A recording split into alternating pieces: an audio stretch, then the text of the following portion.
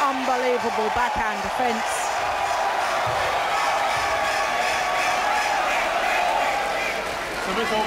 So difficult to generate that much power and so little backswing, and that was so deep into that back.